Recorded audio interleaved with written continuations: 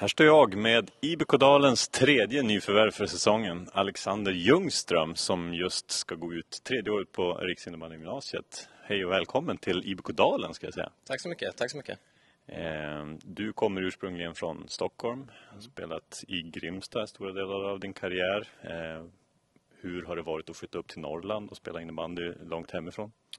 Nej, det har varit jättekul. Eh, man ser verkligen hur innebandyn är en stor del av den här staden och det är roligt att få följa med på utvecklingen. Mm. Vad har den stora, största svårigheten att, med att flytta hemifrån och bo på egen hand?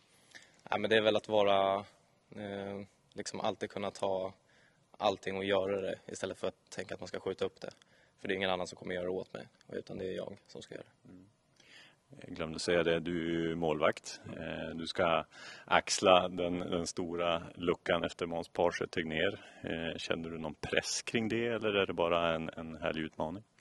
Ja, det är ju lite press alltid. Det är ju ett stort eh, utrymme att fylla men jag tror att med hjälp av Ante och Grönlund så kommer vi göra det jättebra. Mm. Kul. Vad skulle du säga att dina, dina styrkor är som målvakt? Eh, jag skulle vilja säga att det är min ledarroll, eh, mitt syn, eh, hur jag ser på innebandyn och hur jag spelar innebandyn och att jag verkligen läser spelet istället för att bara stå.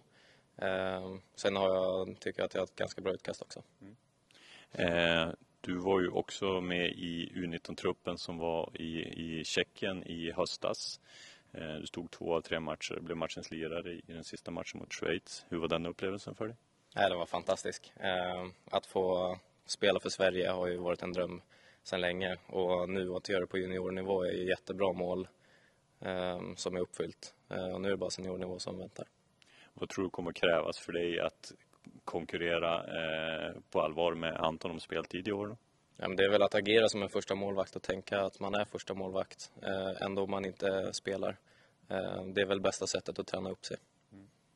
Mm. Eh, du har också tränat med klubben eh, och laget under hösten här. Vad, vad är din känsla? Never looking back, always forward. Jättesköna grabbar. Eh, fantastiskt surr och roligt att spela. Det går fort på träningarna och det känns som att det är riktigt bra.